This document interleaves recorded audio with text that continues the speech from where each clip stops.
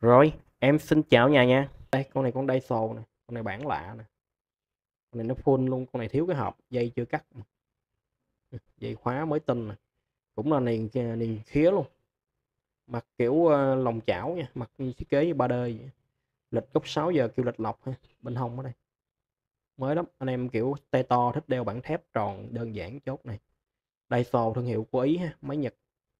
Mặt sau bắt bốn ốc nha, bắt bốn ốc thấy uy tín chắc rồi. Dây thì thoải mái, có nhiều anh em dây hỏi tay 21 nè, trên chốt máy này nè, cho đúng đúng vừa luôn. Tay 21 đeo mặt này đúng rồi.